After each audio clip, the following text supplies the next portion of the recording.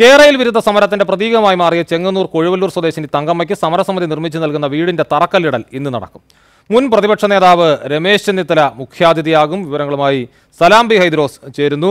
സലാം ഈ തങ്കമ്മ കൊഴുവല്ലൂർക്കാരി തങ്കമ്മ സുപരിചിതയാണ്. എല്ലാവർക്കും നമ്മൾ കണ്ടതാണ്. കല്ലിടുന്നതും കല്ലൂരി എറിയുന്നതും പിന്നീട് കല്ല് സ്ഥാപിക്കാനുള്ള ശ്രമങ്ങളും ഒക്കെ കണ്ടതാണ്. തങ്കമ്മയ്ക്ക് എന്താണ് പറയാനുള്ളത്? അപ്പോൾ ഇന്നത്തെ പരിപാടി.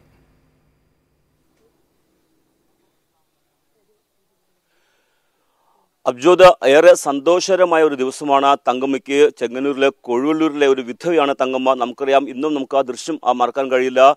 ഈ സിൽവർ ലൈൻ പ്രക്ഷോഭം കൊടുമ്പിരി കൊണ്ടിരുന്ന ഒരു സമയത്ത് അന്ന് മന്ത്രിയായിരുന്ന സജി ചെറിയാൻ ഒരു സ്കൂട്ടർ ഓടിച്ചെത്തി. ആ, ഇവിടെ ഈ ഈ വീടിന്റെ അതായത് തങ്കമ്മയ്ക്ക് പാചകം ചെയ്യാൻ ഏക ആശ്രമമായിരുന്ന ഈ വീട്ടുമുറ്റത്തെ അടുപ്പിൽ കേരളിന്റെ കല്ല് സ്ഥാപിക്കുകയാണ് അന്ന് സജി ചെറിയാൻ ചെയ്തത്. ആ കല്ല് ഇപ്പോഴും ദാ ഈ ദൃശ്യം കാണാൻ കഴിയും. അവിടെ കിടപ്പുണ്ട്. അന്ന് തങ്കമ്മയെ ചേർത്ത് പിടിച്ചുകൊണ്ട് സഹിച്ചൻ ഒരു വാക്ക് പറഞ്ഞിരുന്നു തങ്കമ്മയ്ക്ക് ഇതിലും നല്ല മനോഹരമായ ഒരു വീട് താൻ ഇവിടെ നിർമ്മിച്ചു നൽകും എന്നായിരുന്നു അന്ന് സഹിച്ചറിയാൻ തങ്കമ്മയോട് പറഞ്ഞത്. ആ ദൃശ്യങ്ങളിൽ തന്നെ വളരെ വളരെയധികം വൈറലാകുകയും ചെയ്തിരുന്നു.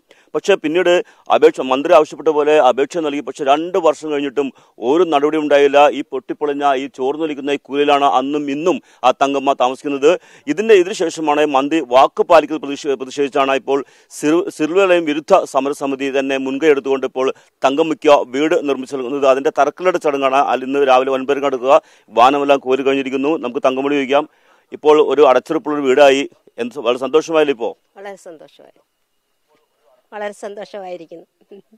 അതിന്റെ പ്രവർത്തകർക്കൊക്കെ വളരെ നന്ദി സന്തോഷവും കടപ്പാടും എന്നും എന്നും എക്കാലത്തും ഉണ്ടാവും.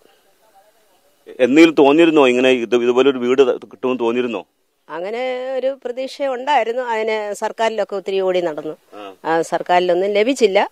അത് കർത്താവ് തീരുമാനിക്കുന്നതല്ലേ കാര്യങ്ങളൊക്കെ. തമ്പുരാൻ തീരുമാനിച്ച് ഇവരിൽ കൂടി ഒരു വീട് തരണമെന്നായിരുന്നു. അത് അവരിൽ കൂടി ദൈവം തന്നു.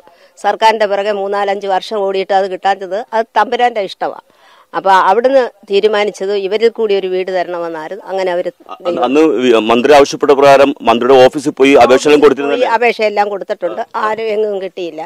അന്ന് ഞങ്ങളുടെ ചന്ദ്രീയ മെമ്പർ ഇരിക്കുന്ന സമയത്ത് എല്ലാം ഓക്കെ ആയി സ്റ്റാമ്പ് ഒട്ടിച്ച് പേപ്പർ കൊടുത്തു.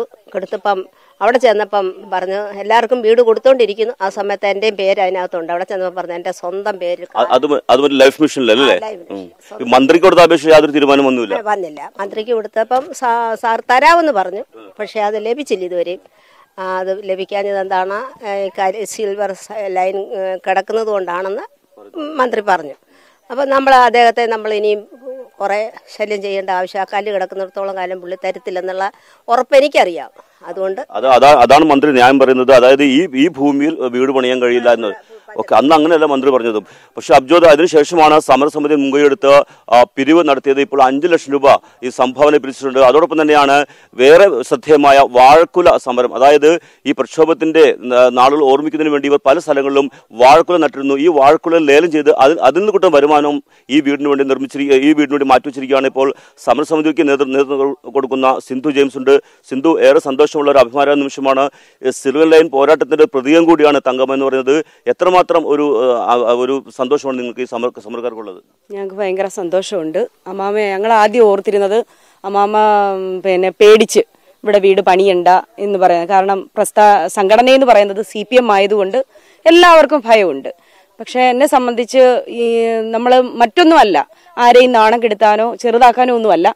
അവർക്കൊരു കൂര. ഞങ്ങളിൽ ഒരാളാണ് അവർ അപ്പോൾ ആ അമ്മാമയ്ക്ക് അമ്മാമ്മയുടെ പിതൃസ്വത്തായി കിട്ടിയ ഈ മൂന്ന് സെന്റിൽ തന്നെ അവർ ജീവിച്ച് മരിക്കണം എന്നുള്ള ആഗ്രഹം കൊണ്ട് ഞങ്ങൾ ഇതിനകത്ത് ഒരു കുഞ്ഞു വീട് ഒരു നാനൂറ്റമ്പത് സ്ക്വയർ ഫീറ്റിൽ താഴെയുള്ള ഒരു കുഞ്ഞു വീട് കേരയിൽ വിരുദ്ധ സമരസമിതിയുടെ നേതൃത്വത്തിൽ ഇവിടെ പണിയെ. പക്ഷേ സിന്ധു വലിയൊരു പ്രശ്നം കൂടിയുണ്ട്. അതായത് നിലവിൽ കേരള പദ്ധതി സർക്കാർ ഉപേക്ഷിച്ചിട്ടില്ല. രണ്ടാഴ്ച മുമ്പാണ് റെയിൽവേ ബോർഡ് ദക്ഷിണ റെയിൽവേയോട് ഇതുമായി ബന്ധപ്പെട്ട് റിപ്പോർട്ട് ആവശ്യപ്പെട്ടിരിക്കുന്നത്. അതായത് ഇപ്പോഴും അത് സജീവമായി തന്നെ നിൽക്കുകയാണ്. ഈ ഒരു സാഹചര്യത്തിൽ ഈ ഈ വഴി ഈ കല്ലിട്ട സ്ഥലം ഇതാണ്. ഈ സ്ഥലത്തു കൂടി തന്നെ റെയിൽവേ പാത കടന്നു പോകേണ്ടത് അത് ഭാവിയിൽ എങ്ങാനും പദ്ധതി വരുമെന്ന ആശങ്ക നിങ്ങൾക്കില്ലേ? കാരണം ഇപ്പോഴല്ല ഇനി എക്കാലവും ഏതൊരു പദ്ധതി വന്നാലും ജനങ്ങൾക്ക് ആവശ്യമുണ്ടെങ്കിൽ മാത്രമേ ആ പദ്ധതി നടപ്പിലാക്കാൻ സാധിക്കുകയുള്ളൂ. ജനങ്ങളെ വെറുപ്പിച്ചുകൊണ്ട് ഒരു പദ്ധതിയും കേരളത്തിൽ നടക്കത്തില്ല. അമ്പതിനായിരം കുടുംബങ്ങളിൽ ഒരു മുപ്പതിനായിരം കുടുംബങ്ങൾ ഭൂരിപക്ഷം ഈ പദ്ധതി വേണമെന്ന് ആവശ്യപ്പെടുകയാണെങ്കിൽ അവർ നടത്തിക്കോട്ടെ. അതെ. അത്രമാത്രം ആത്മവിശ്വാസം ഇവർക്കുണ്ട്. സമരസമിതിക്കുണ്ട്. ഒരു കാരണവശാലും ഈ പദ്ധതി ഇതുവഴി വരില്ല എന്ന് തന്നെയാണ് ഇവർ പറയുന്നത്. ഏതായാലും ഒൻപതരയ്ക്ക് പ്രതിപക്ഷ പ്രതിപക്ഷ നേതാവ് രമേശ് ചെന്നിത്തല വിശദമായ റിപ്പോർട്ട് കൂടി കാണാം. എന്തായാലും തങ്കമ്മ ചേച്ചിക്ക് വീടിന് തറക്കല്ല് തറക്കല്ലിടുകയാണ്. ഈ വിപണി സിനിമയുടെ വാണിജ്യ സിനിമയുടെ വിപണി താല്പര്യങ്ങളെക്കുറിച്ചൊക്കെ വലിയ ആധിയുള്ള ആ സ്ഥല ആ നാട്ടുകാരൻ തന്നെയായ മന്ത്രി സജി ചെറിയാൻ മറന്നുപോയിട്ടുണ്ടാകും തങ്കമ്മ ചേച്ചിയുടെ കാര്യം എന്തായാലും അവർ പറഞ്ഞത്. കേൾക്കുക കാണുക.